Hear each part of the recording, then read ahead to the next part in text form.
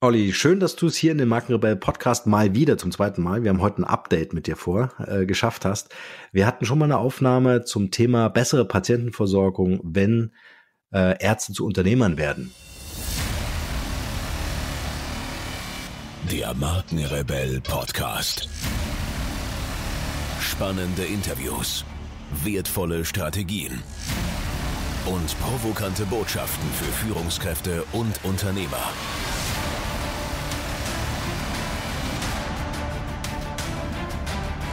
Stell dich den Herausforderungen der Digitalisierung und setze als Marke ein Zeichen. Von und mit Markenrebell Norman Glaser. Erstmal herzlich willkommen. Ja, ähm, ich, ich habe mich zu bedanken, Norman. Super, dass ich nochmal die Gelegenheit habe, ein kleines Update zu liefern über die Zeit. Gerne. Weil was mir persönlich wichtig ist, und das ist äh, so ein Aufruf natürlich auch an die Branche, ähm, äh, und was seine Arbeit am Ende so wertvoll macht, ist, dass du dich für eine bessere Patientenversorgung einsetzt und hier tatsächlich Ärzte berätst, ähm, wie sie selbst als Aktionäre, ne, also in Aktion tretende Persönlichkeiten, äh, sich als Unternehmer verstehen. Und deswegen äh, freue ich mich sehr, dass wir heute noch mal eine Runde machen hier. Ähm, erzähl doch mal, ich habe vorhin mal geguckt, äh, der Podcast liegt jetzt fast ein Jahr zurück. Das war Mai 2018. Was ist in der Zwischenzeit passiert? Und vielleicht kannst du dich vorab noch mal kurz vorstellen für alle die, die die Folge natürlich noch nicht gehört haben. Okay, ja, sehr gerne. Also ähm, mein Name ist Oliver Neumann. Ich bin jetzt 50 Jahre alt geworden, bin verheiratet mit meiner Frau Sonja und das im nächsten Jahr seit 25 Jahren. Ähm, ich hoffe, dass wir das schaffen, also dieses Jahr 5, 24. Ähm, ich bin aber guter Dinge. ähm, ja, drei Kinder, drei, zwei große Jungs, einen 15-Jährigen noch und ähm, ja, lebe in Dortmund und arbeite in Essen. Bin seit über ja, 22, 23 Jahren schon selbstständig und seit fast 16 Jahren jetzt in der Beratung von Medizinern, also alles das, was um das Thema äh, Praxisgründung, Übernahme einer Praxis, Weiterentwicklung einer Arztpraxis, betriebswirtschaftliche Themen, aber natürlich auch ein paar wirtschaftliche, finanzielle Themen dabei, also Absicherung, Versorgung äh, und so weiter. Das ist mein Thema und das ähm, hat sich über, über die Jahre immer mehr entwickelt zu einer wirklich großen Leidenschaft ähm, hängt, wie das immer so ist, auch sehr häufig mit einer persönlichen Geschichte zusammen. Aber das Thema flächendeckende Patientenversorgung oder bessere Patientenversorgung ist einfach ein Riesenthema in Deutschland. Wir haben leider viel zu viele unterversorgte Gebiete schon, also wo es keine ausreichenden Mediziner mehr gibt. Das hat ganz unterschiedliche Gründe. Vielleicht schaffen wir es da nochmal drauf zu kommen heute, wo aus meiner Sicht da die Gründe liegen. Aber ähm, ja, meine Aufgabe in den, in den letzten Jahren ist einfach äh, die Begleitung in allen wirtschaftlichen Fragen auf dem Weg ähm, zur eigenen Praxis, zur eigenen Praxis, also der Arzt, der tatsächlich Unternehmer werden soll. Das ist meine Aufgabe. Und dieses Unternehmerische, ähm, das ist ja nicht immer positiv belegt. Also viele verstehen da ja ähm, auch durchaus mal einen, einen, einen rein wirtschaftlichen Gedanken dahinter, mhm. sehe ich aber komplett anders, weil ich glaube, das Unternehmersein hat was damit zu tun, etwas zu unternehmen, etwas zu tun, sich zu bewegen und äh, nicht immer nur vor einem wirtschaftlichen Hintergrund äh, ja, nach dem Motto, der Patient bekommt jetzt etwas, was er gar nicht braucht oder wird von Dienstleistungen, wird äh, mit Dienstleistungen ähm, versehen, die auch gar keinen Sinn haben. Also darum geht's überhaupt nicht. Ja, ja. Gibt es eine Entwicklung, die du äh, äh, absehen kannst, wenn du so mal die letzten zwölf Monate Revue passieren lässt? Also ähm, bezogen auf den, auf den ähm, Markt der Mediziner, in, in, gerade in Deutschland, ähm, was ich immer wieder erkenne, das ist eben auch das Thema, dass natürlich äh, ja, die, die Öffentlichkeit ähm, mehr und mehr das Thema Patientenversorgung auch wahrnimmt. Das finde ich sehr schön. Also ähm, das hängt vielleicht auch damit zusammen, dass ich mich selbst natürlich viel mehr jetzt zum Beispiel im Bereich von Social Media oder auf einer, ich nenne es jetzt mal digitalen Ebene ähm, informiere und plötzlich mit Menschen zusammentreffe, die ähnliche Ideen haben aus ganz unterschiedlichen Bereichen, sei es Wissenschaftler, sei es Forscher, sei es Politiker, sei es ähm, aber auch Mediziner. Und das finde ich eigentlich sehr, sehr schön, dass Mediziner auch mittlerweile erkennen, ähm, wie sie sich selbst als Marke positionieren können und den digitalen Weg oder den, den ähm, ja, einen Weg, den, den Online-Weg, nenne ich ihn mal, auch gehen. Und das finde ich sehr schön. Das habe ich vor zwei Jahren für mich noch gar nicht so erkannt, sehe aber, mhm. dass das eine, eine tolle Entwicklung ist. Ja. Ähm, was ich extrem wichtig finde, ähm, einfach auch so aus meinen Erfahrungen der letzten Jahre, ist, äh, dass man äh, äh, tolle Ideen, Leute, die was wirklich was bewegen wollen, auch äh, bündeln muss. Genau das habt ihr jetzt vor. Ihr plant eine Veranstaltung, ähm, auf der sich äh, Ärzte treffen können, äh, äh, mitarbeiten können. Vielleicht kannst du dazu ein bisschen was erzählen. Ja, sehr, sehr gerne. Also die Veranstaltung, die wir da ähm, ins Leben gerufen haben, die findet zunächst am, am äh, 6.7.2019 in Dortmund statt. Das ist das Startup Praxis, ähm, also ein Ärzte- und Medizinerforum, das sich sowohl an Gründer, aber auch an, an etablierte Mediziner und Praxen äh, widmet ähm, oder ähm, wendet, die einfach mal neue Wege in der Medizin gehen wollen. Also ich habe damals schon mal über das, das, Thema Medical Business Hacking gesprochen. Also ich verstehe das so ein bisschen, die alten Strukturen aufbrechen und neue Wege gehen und einfach mal ein bisschen was hacken in dem, in dem Segment. Und ähm, Startup-Praxis deshalb, also wir wollen einfach ähm, ja, Strategien aus unterschiedlichen Bereichen der Wirtschaft und vielleicht auch New Economy ähm, in den Medizinerbereich und vielleicht auch in die Arztpraxis bringen. Das ist sicherlich Zukunftsmusik, weil wir wollen ja nicht sofort ganz oben einsteigen, sondern wir wollen einfach ein Forum bieten, wo wir ähm, ja viele interessante Themen, Gründung, moderne Praxisführung, HR-Management, also die, die Mitarbeiter, die Human Resources auch mit einbringen, Zukunft, digitale Zukunftschancen mit einbeziehen. Mhm. Wir haben dann wirklich ein breites Mix und ähm, tolle, ähm, äh, tolle Redner auch da, die ähm, mit Kurzvorträgen einfach ihr Publikum begeistern können und auch sollen, damit wir einfach mehr Mediziner wieder in die Praxis bekommen. Ja. Jetzt ist das ja für eine Praxis äh, ein, ein echter Change-Prozess. Ja? Also zum einen brauche ich den, den, den Change im Mindset, dass ich sage, okay, ähm, gestern war ich Arzt, ab sofort bin ich Unternehmer, indem ich was unternehme, ja? hinsichtlich Patientenversorgung, auch patientenzentrierte Kommunikation, finde ich ganz wichtig. Mhm. Ähm, wie offen sind die Ärzte tatsächlich, sich diesem Prozess jetzt erstmal auf informativer Ebene zu stellen? Also ähm, ist es, äh, ist der Bedarf grundsätzlich erkannt und wird es mehr? Ja, das ist eine super Frage. Ich glaube, ich glaube, so richtig ist das noch nicht erkannt. Und das ist eben auch ein sehr steiniger Weg, den wir da alle vor uns haben. Also ich habe gerade gestern noch mit einer mit einer Kollegin in Anführungsstrichen gesprochen, die aus dem Bereich von Hannover kommt, die Ähnliches vorhat und die ähnlich ja. äh, mit Ärzten arbeitet, um einfach mal den, den, den, ja, den, den Kopf aufzumachen für diese Themen. Weil viele Ärzte sagen ja immer noch, oh, ich habe eine gut gehende Praxis, meine Patienten kommen sowieso, weil ich arbeite in einem unterversorgten Gebiet und ich habe meine meine Patientenzahl, die jeden, jedes Quartal wiederkommt. Ganz im Gegenteil, ich muss sogar noch mal eine Woche früher zumachen, weil mein Budget verbraucht ist, wie auch immer. Also das ist ja das ähm, Gedankengut, was heute bei vielen Ärzten noch da ist. Aber den, den Ball mal umzudrehen und mal zu gucken oder die Medaille mal umzudrehen, mal zu gucken, was denn auf der anderen Seite, also wie kann ich mich so aufstellen, dass ich vielleicht auch die Medizin machen kann, an der ich selber viel Spaß habe und die Patienten zu bekommen in der Zukunft, die ich haben möchte, ähm, da kann ich eben unternehmerisch, wenn ich ein bisschen unternehmerisch denke und eben ja nicht nur im Unternehmen Arztpraxis arbeite, sondern vor allen Dingen am Unternehmen Arztpraxis arbeiten. Also das, das ist für mich ein ganz, ganz wichtiger Prozess, das zu überlegen, wie kann ich nicht nur ähm, ich glaube, das kommt von dir, Fachkraft im eigenen Unternehmen sein, sondern wie kann ich tatsächlich mich so aufstellen, dass ich von oben aus der aus, aus, aus einer Art Adlerperspektive drauf gucke. Ja. Das ist aber ein steiniger Weg. Da, also das, da, da muss sich viel ändern. Aber dafür genau soll zum Beispiel die Startup-Praxis sein. Ich, ich, soll, ich muss mir mal Dinge anhören, die vielleicht nicht immer aus der Medizin kommen, sondern aus anderen Bereichen. Also wie ein, wie ein guter Trainer im Sport, der sich vielleicht aus anderen Sportarten die Dinge raussucht, die für seine Sportart wichtig sein können. Und das ja. äh, soll diese Veranstaltung erreichen. Kannst du dir vorstellen, ähm, das fällt mir gerade so ein, ähm, im Grunde ist es ja ein kompletter ähm, äh, Berufswechsel. Ja, also ich bleibe natürlich Arzt ja, meiner Praxis, aber ich werde auch zum Unternehmer. Nur äh, äh, hat ein Unternehmer halt auch andere Aufgaben, andere äh, Perspektiven, wie du gerade gesagt hast, so diese Adlerperspektive mhm. Äh, einzunehmen. Ne? Also wie kommuniziere ich in meiner Praxis, wie kommuniziere ich nach außen zu meinen Patienten, habe ich tatsächlich einen Dialog, wie binde ich digitale Medien mit ein und so weiter, diese ganzen Fragestellungen. Mhm. Ähm, kannst du dir vorstellen, dass vielleicht äh, mit oder nach der Veranstaltung äh, von euch äh, so, eine, so eine Art Weiterbildungsprogramm startet, äh, um Ärzte wirklich auch zu befähigen, äh, Unternehmer zu werden? Oder das, vielleicht gibt es das ja auch schon? Ja, also den Gedanken daran gibt es auf jeden Fall schon.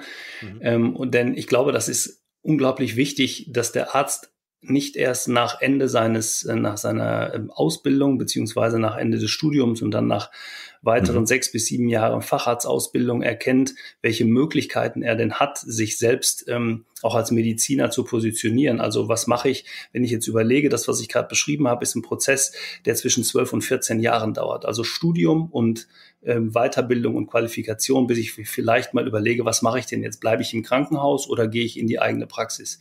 Ich glaube aber, wenn sich die Ärzte früher darum kümmern könnten, welche Möglichkeiten und Alternativen habe ich denn?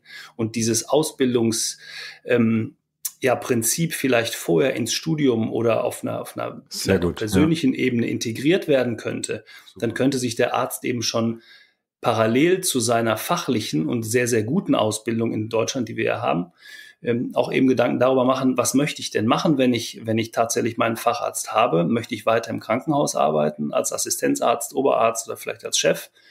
Mhm. Oder möchte ich in die eigene Praxis gehen und möchte ich unternehmerisch tätig sein und mir dann überlegen, ich baue et etwas auf, ähm, was ich vielleicht auch weiterentwickeln kann. Was nicht heißt, und das ist mir nochmal wichtig, wir können nicht alle Ärzte in die eigene Praxis bringen. Das geht ja auch gar nicht. Wir brauchen ja, Krankenhausärzte ja. auch da. Wir brauchen eine tolle flächendeckende Versorgung in den Kliniken. Und die haben übrigens für mich auch eine unglaublich hohe ähm, Bedeutung dieser Ausbildung in den Kliniken. Denn das, wenn das, was da gelehrt wird, also die moderne Art der Medizin, die vielleicht auch schon zum Beispiel mit dem Thema Einbindung von digitalen Prozessen zu tun hat im Krankenhaus, also Universitätskliniken mhm. zum Beispiel, die mhm. ihre Mitarbeiter ausbilden, wenn die mit modernen Techniken arbeiten und mit, mit digitalen Prozessen, also systematische Dinge im Krankenhaus schon einführen, die ähm, vielleicht über einen digitalen Prozess vereinfacht werden können. Da ist jetzt was, was ich über Blutentnahmen, über Terminvorgaben, über, über ähm, äh, medizinische Diagnosen, die gestellt werden können und, und, und. Dann fällt es natürlich dem Arzt, der das im Krankenhaus mitgenommen hat, viel einfacher, das auch in seiner Praxis umzusetzen. Ja, Habe ich ja. das aber nie in, im Krankenhaus gelernt und äh, weiß ich gar nicht, was da los ist, dann bin ich erstmal damit konfrontiert, dass ich eine Praxis übernehme, die seit 30 Jahren geführt ist, sehr gut, die auch gut funktioniert, aber wo die größte Herausforderung ist, dass ich eine neue Telefonanlage kaufe, bei der ich jetzt plötzlich keine Null mehr vorwählen muss. Ne? Und mhm. das ist tatsächlich passiert. Das höre ich in der, in der täglichen Beratung. Ne? Ja. Na, also ich glaube auch so diese Zukunftsperspektiven aufzumachen. Ich hatte äh, letztens ein Interview ähm, äh, mit Sabine Müller von DRL, die gesagt haben, wir haben keine, keine, keine Telefone mehr. Wir machen das alles über Skype. Und ähm, äh, das ist für mich auch so eine Frage, wenn du sagst, Telefonanlage anschaffen, ja oder nein. Die Frage ist, ist meine, meine Praxis überhaupt zukunftsfähig? Ja? Also kann ich die auch zukunftsfähig übergeben? Und damit meine ich nicht, natürlich wird die nächsten zwei, drei Jahre noch existieren, ja, aber hält sie auch fünf oder zehn Jahre durch? Ne? Ja, also habe ich tatsächlich auch, äh, was weiß ich nicht, eine digitale äh, Terminvergabe. Ja, mhm. ist meine Website so ähm, umgesetzt, auch mit Funktionalitäten, dass ich so einen 24/7-Service anbieten kann. Weil ich habe mit den mit mit äh, äh, jungen Medizinstudenten äh, gesprochen, sehr intensiven Austausch gehabt und die Überlegung, eine eigene Praxis zu, äh, zu übernehmen, äh, geht immer wieder in die Richtung, inwieweit ist dieses Business, ja, also diese Praxis, die ich mal übernehme, ähm, tatsächlich ähm, für die Zukunft vorbereitet technisch. Genau, ja. Und da äh, gibt es oftmals äh, Diskrepanzen. Ne? Ja. Aber das ist mhm. zum Beispiel auch etwas, was wir versuchen auf der Veranstaltung zu integrieren. Also es gibt ähm, zwei, drei Vorträge, ähm, ohne jetzt wirklich alle Redner nennen zu wollen, weil wir haben insgesamt zwölf, äh, 20 Minuten Vorträge. Das hört sich jetzt erstmal sehr lang an, aber es ist eben sehr intensiv und trotzdem sehr kurzweilig dabei. Ähm, wir haben einen ähm, Mediziner dabei, das ist der Dr. Ralf Jäger. Ähm, der hat eine Praxis in Eichingen, das ist südlich von Stuttgart. Ähm, nee, Quatsch, er hat nicht eine Praxis, er hat fünf in unterversorgten Gebieten. Also der kümmert sich wirklich unglaublich um eine gute ähm, Patientenversorgung, flächendeckende Patientenversorgung in diesen Gebieten mit anderen Kollegen zusammen. Und die haben aber immer das Problem gehabt, dass sie ähm, die Kommunikation auf diesen diesem Wege Arzt, Patient und, und vielleicht weiterer Arzt, also andere Fachärzte oder auch Kliniken, nicht sicherstellen konnten, weil das Patientenaufkommen ist sehr hoch, aber die Rückfragen und bezogen auf, auf Termine, bezogen auf Weitergabe von Patientenunterlagen und so weiter und so weiter hat nicht funktioniert. Und das, was ich mit unternehmerischem Denken meine, ist nicht einfach fünf Praxen zu gründen, sondern Dr. Jäger hat zusammen mit einem IT-Dienstleister eine digitale App entwickelt, ähm, die heißt MediOne. Und MediOne beschreibt genau das, was ähm, ich gerade gesagt habe. Also es verbessert die Kommunikation zwischen Arzt und Patient. Und das auf eine Art und Weise, die jetzt nicht nur junge Menschen angeht. Ja. Ich hatte, ich habe ihn auch bei mir im Podcast gehabt im, im, und habe ihn dazu interviewt und er hat gesagt, oder ich habe genau diese Frage gestellt, Herr Jäger, es ist doch bestimmt nur für die junge Generation. Er hat gesagt, nein, die App ist so einfach, dass wenn der Enkel seiner Großmutter ähm, WhatsApp installiert hat, und er hat jetzt gleichzeitig auch MediOne installiert, dann ist es für die genauso ein Medium, nur er, sie, sie kommunizieren dann nicht mehr mit dem Enkel, sondern mit dem Arzt. Mhm. Und so einfach ist das Prinzip. Und das stellt er da vor und beschreibt mal, warum er das gemacht hat. Und das ist für mich ähm, die, die unternehmerische Denke eines Arztes. Es ist viel, viel mehr und trotzdem bleibt er in seinem Genre, in seinem Job. Er verbessert damit die Patientenversorgung und hilft ähm, damit, dass wir eine Sicherstellung haben auf einem Segment, äh, wo wir in Deutschland bestens ausgebildet sind. Ne? Ja, stark, stark. Ja. Wir packen den Link zu deiner Podcast-Folge natürlich in die Show Notes. Okay. Ähm, für alle die, die da äh, äh, gern mal reinhören. Ich finde das großartig, vor allen Dingen, wenn es ein, ein einzelner Arzt tatsächlich schafft, äh, sowas auf die Beine zu stellen. Ja? Also ich finde natürlich die, die Bündelung von Energien immer äh, recht sinnvoll, gerade wenn man Technologien entwickelt, aber das ist natürlich ein tolles Beispiel, also großen Respekt äh, wer das einfach mal, mal so äh, selbst hinstellt. Ja, ja absolut. Ja äh, das lädt natürlich gleich mal zum Perspektivwechsel ein. Du hast schon angefangen. Ähm, vielleicht können wir das mal aus Sicht der, des Patienten sehen. Was verändert sich denn für den Patienten und seiner Gesundheitsversorgung, wenn der Arzt zum Unternehmer wird? Also aus meiner Sicht ändert sich insbesondere ein, ein Baustein, der immer wichtig ist. Also es gibt ja diesen Satz, Menschen kaufen immer von Menschen, aber für, den, für die ähm, Patientenversorgung könnte es auch heißen, der Arzt wird immer den Patienten versorgen. Also es geht nicht darum, aus meiner Sicht bei unternehmerischen Prozessen oder digitalen Prozessen ähm, jemanden zu ersetzen. Ganz im Gegenteil. Ich glaube, was wir damit schaffen in der besseren Patienten, bei einer besseren Patientenversorgung, indem wir Dinge systematisieren, digitalisieren, wie auch immer, dass der Arzt einfach mehr Zeit hat dafür. Und das ist zum Beispiel was, was Dr. Jäger auch absolut bestätigt. Ich habe einfach die 20 Sekunden, vielleicht die 50 Sekunden, vielleicht die zwei Minuten mehr Zeit, um meinem Patienten wirklich ähm, die Aufmerksamkeit zu schenken, die er braucht, um besser genesen zu können. Und hm. das wird in der, in der, in der täglichen Praxis, wenn ich heute sehe, eine hausärztliche Praxis im, im, im Ruhrgebiet oder in größeren deutschen Städten, ganz egal, ähm, da haben wir, da haben wir so wenig Zeit für den Patienten. Da haben wir teilweise 1400 bis 1800 Patienten, die ein Arzt in, in einem Quartal, ja, man kann ja schon fast sagen, durchschleusen muss.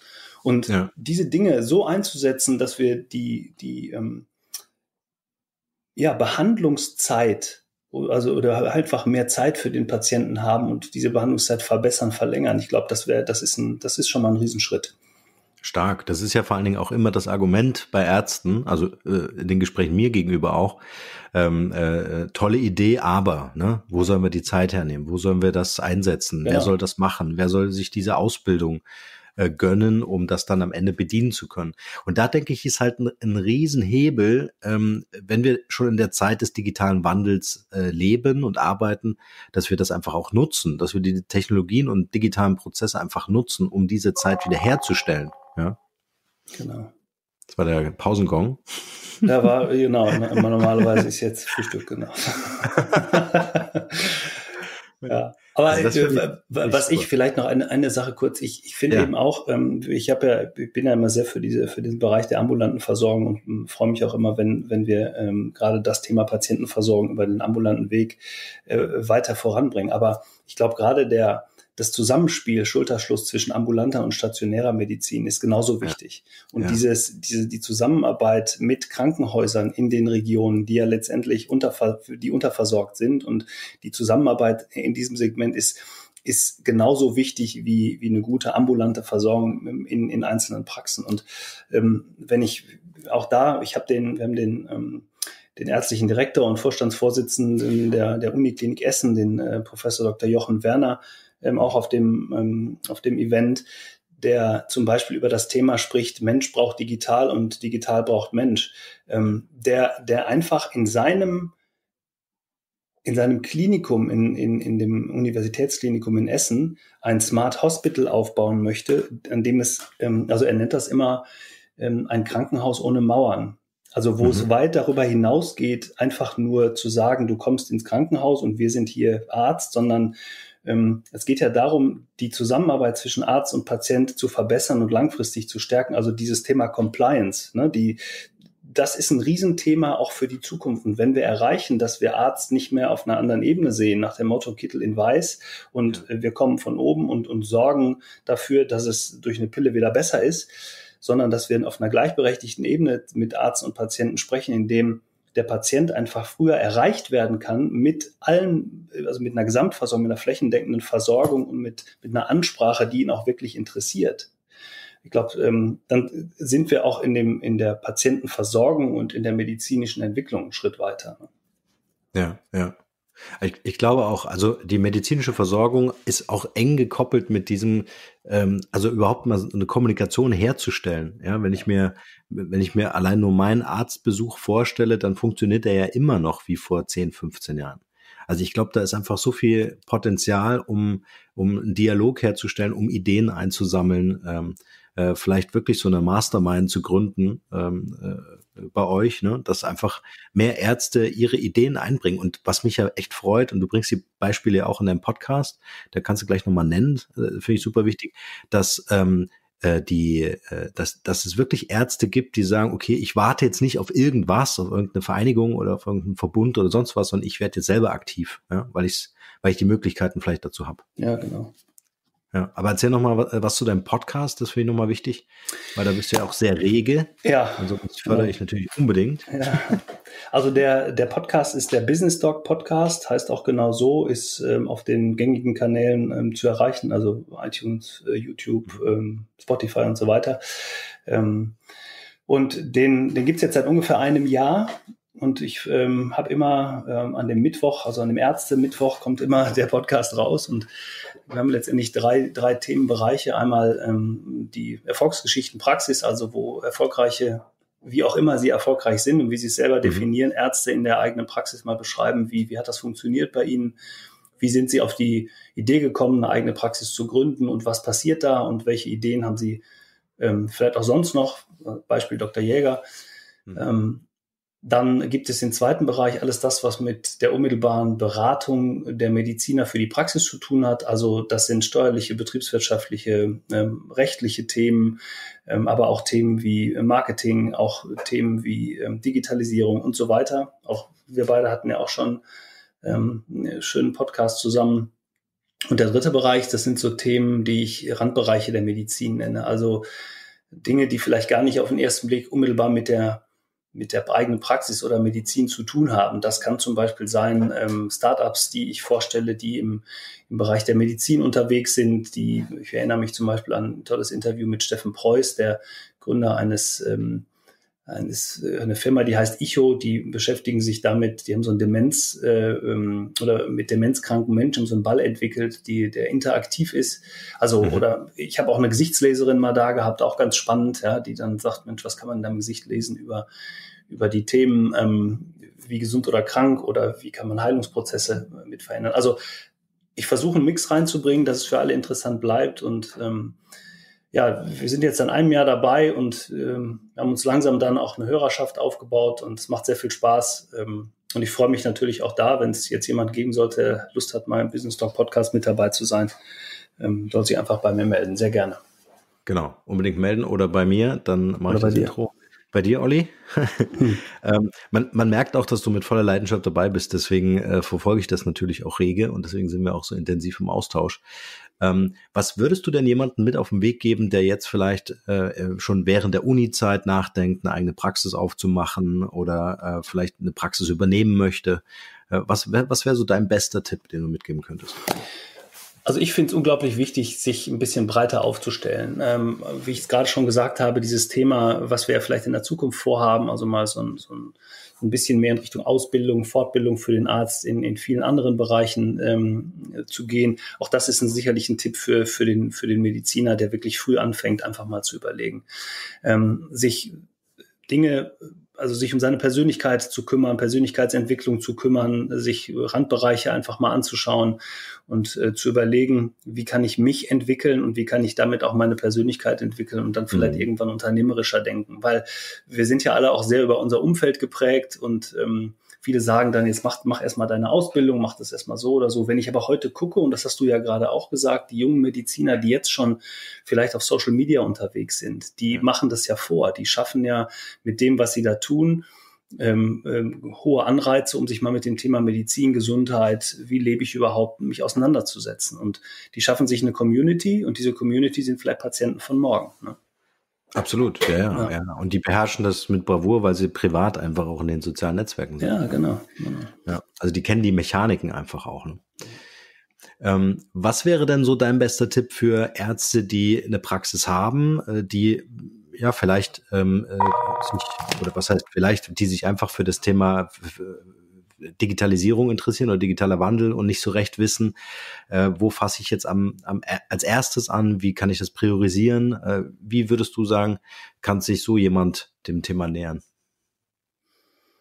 Also im Grunde ist das ein ähnlicher Tipp wie den, den ich gerade gegeben habe. Ich glaube, es macht immer Sinn, ähm, nicht nur in den eigenen Reihen zu gucken, sondern auch außerhalb dieser Reihen sich zu informieren, was gibt es denn und dann mal zu gucken, wie kann ich diesen Prozess, den ich vielleicht woanders gesehen habe, hm, in ein Geschäftsmodell, so nenne ich es jetzt mal, für meine Arztpraxis bringen ne? und sich mit, also offen zu sein. Es gibt so viele gute Möglichkeiten mittlerweile, die auch wenig Geld kosten, um einfach sich die Informationen zu holen, die ähm, die ich vielleicht haben will oder wo ich noch gar nicht weiß, dass es die gibt. Also ich kann da ja nur von, von mir sprechen, was ich in, in den letzten anderthalb Jahren getan hat, seitdem ich das Projekt Business Doc äh, gegründet habe. Ähm, da das hätte ich vorher selbst gar nicht gedacht. Also, wen man alles kennenlernt, wo plötzlich sich neue Türen auf, auftun, allein dadurch, dass man diesen Weg geht und äh, offen ist, sich einfach mal andere Dinge anzuhören, vielleicht auch mal ein paar Fehler zu machen, vielleicht auch einfach mal ein bisschen Zeit zu investieren, gegebenenfalls auch Geld zu investieren. Ähm, wir haben ja immer die größte Sorge ist, dass wir einen Fehler machen und dass dieser Fehler ähm, von außen vielleicht äh, uns vorgeworfen wird. Aber ich glaube, das gehört einfach dazu. Und gerade der Unternehmer ähm, muss Fehler machen, damit er sich entwickelt. Mhm. Und das gilt genauso für den Arzt. Ja.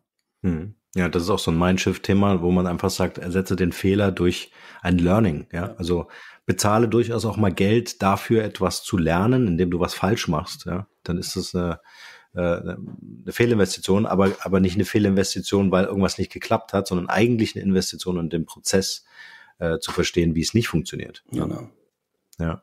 Gibt es ähm, äh, eine Gruppe, kannst du eine Gruppe empfehlen, äh, vielleicht bei Facebook oder in irgendwelchen sozialen Netzwerken, wo sich Ärzte tatsächlich austauschen? Oder gründest du gerade eine? also ähm, äh, wo es, ein, wo es einen Austausch gibt, das wäre vielleicht tatsächlich mal eine, eine gute Möglichkeit zu überlegen. Es gibt natürlich viele, viele größere, ich nenne es jetzt mal Plattformen oder viele ähm, Institutionen, die, die das wollen, die aber auch aus meiner Sicht sehr häufig einen, einen rein kommerziellen Gedanken dahinter haben, was ich dann immer ein bisschen schwierig finde. Es gibt ja Ärzteportale, die, die geschlossen sind, wo du nachweisen musst darüber, dass ob du dann auch wirklich die fachliche Qualifikation hast, also dass du dann irgendwie einen Facharzt äh, äh, Anerkennung deiner Approbation oder so einreichen musst, damit du eben weißt, das ist eine geschlossene Gruppe. Ähm, es gibt aber äh, so zwei, drei ähm, Menschen, die mir gerade einfallen, die im Social Media Bereich unterwegs sind. Das ist einmal Hashtag Gesundheit ähm, der ähm, sich also sehr viel mit, mit diesen Themen beschäftigt. Ähm, also wie führen wir stationär, ambulant und Pflege zusammen? Das finde ich ein sehr, sehr, äh, finde ich sehr, sehr schön. Und dann gibt es ähm, den äh, Tobias Krick, der ist ein wissenschaftlicher Mitarbeiter. Ich weiß jetzt gar nicht, in welchem Institut er arbeitet. Der nennt sich Innovationsagent. Ähm, das ist jetzt keine Plattform für den Arzt, aber auch der ähm, behandelt diese medizinischen Themen sehr, sehr gut. Aber vielleicht gelingt uns ja nochmal diese Plattform irgendwie oder diese Möglichkeit der Ärzte äh, zusammenzuführen. Vielleicht gelingt uns das ja nochmal, müssen wir nochmal überlegen. Ja, absolut. Und wenn uns das gelungen ist, packen wir das mit. machen wir eine dritte Folge. genau. genau, machen wir eine dritte Folge. Ähm, ich würde gerne äh, zum Abschluss äh, dir die Frage stellen, äh, dass du vielleicht kurz deine Glaskugel rausholst und äh, ähm, vielleicht mal so einen kleinen Einblick aus deiner Perspektive gibst. Wie stellst du dir ähm, die, die Gesundheitsversorgung oder speziell die Patientenversorgung durch Ärzte so in fünf oder in zehn Jahren vor? Ich weiß, das ist immer sehr vage und es ist wirklich Glaskugel. Aber was kannst du heute schon sehen? Was erkennst du, äh, was sich in der Zukunft dramatisch verändern wird vielleicht? Also wenn ich mir, wenn ich das so ein bisschen mit dem Wunsch verbinden dürfte, dann würde ich mir insbesondere wünschen, dass viele Mediziner ein ähm, aufwachen oder dass es uns gelingt, so ein bisschen zu rütteln und ähm, dass dadurch ein bisschen was passiert, dass der Mindset sich ändert, ähm, bezogen darauf, dass das so wie es ist auch nicht weitergehen kann in der Zukunft. Also ähm, und dass ich Dinge einsetzen muss, wie zum Beispiel digitale Prozesse, wie zum Beispiel ähm, auch, auch ähm, Behandlungsmöglichkeiten, Behandlungsalternativen, die es in Zukunft ähm, geben wird, wo ich mich aber heute vielleicht als Mediziner noch nicht dran traue. Warum nicht? Weil ich es einfach nicht gelernt habe. Ähm, also ich würde mir wünschen, dass, dass das äh, Öffnen ähm, dieses, dieses Tores kurzfristig beginnt, dass die Politik mitspielt, ähm, das ist aber, hat äh, für, für mich schon die Begründung in, in der, zum Beginn des Medizinstudiums, ne, dass also mehr Leute die Möglichkeit haben können, überhaupt Medizin zu studieren, dass wir viele Ärzte haben, die ähm, auch als Mediziner ausgebildet werden äh, oder als Mediziner ausgebildet werden, aber eben auch als Unternehmer. Und dass wir viele Dinge, die, die ähm, jetzt in der Medizin, gerade hier in Deutschland erst entstehen, einfach viel selbstverständlicher mit einbeziehen können. Das Thema Datenschutz zum Beispiel spielt da für mich eine unglaublich große Rolle. Da müssen wir uns einfach ein mhm. bisschen entspannen. Ähm, und ich glaube, ähm, wenn ich, wenn wir da mal über den Teich gucken, einige Interviews mal aus dem Silicon Valley gehört, was da so alles passiert, mhm. ähm, da denke ich mir immer, was machen wir eigentlich hier gerade? Aber wir sind eben in Deutschland und ich finde, wir, wir haben eine, eine wirklich richtig gute Möglichkeit, uns hier zu entwickeln. Das sollten wir aber auch tun. Also ja. der Aufruf in die Richtung zu sagen, wir, wir müssen ähm, alle ein bisschen die Arme hochkrempeln und auch den medizinischen Sektor weiter voranbringen, denn die fachliche Qualität ist hier ohne Frage da. Wir brauchen jetzt vielleicht noch ein bisschen mehr Know-how in anderen Segmenten. Ähm, das würde ich mir wünschen. Und dann, glaube ich, werden sich viele Dinge von selbst entwickeln, aber eben auch, und das äh, bedeutet vielleicht auch mal ein bisschen Schweiß und vielleicht auch mal ein paar Tränen, aber ich, ich bin da sehr zuversichtlich. Ja. Also ich finde es also eine klasse Antwort, äh, vor allen Dingen auch als Wunsch formuliert. Äh, da würde ich meinen Wunsch als Patient, ja, der ich nun ja auch hin und wieder mal bin, mhm. äh, dranhängen und einfach sagen, ich würde mir tatsächlich wünschen, dass mein Hausarzt oder mein Facharzt einfach auch äh, zum Unternehmer wird und sich überlegt, was kann er unternehmen, um mit mir in der Kommunikation ähm, ähm, intensiver oder überhaupt in den Austausch zu gehen.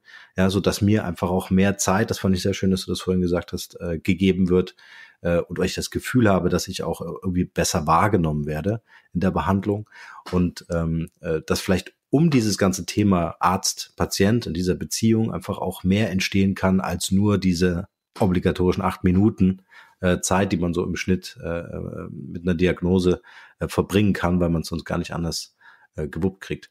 Und ich möchte mich bei dir bedanken, Olli, für deine Arbeit. Ich finde das super wertvoll. Äh, deswegen äh, auch die Einladung zu diesem Podcast, weil ich glaube einfach, hier muss noch viel, viel mehr passieren. Also vielen Dank für, äh, für dich, für deine Arbeit und für dieses Interview.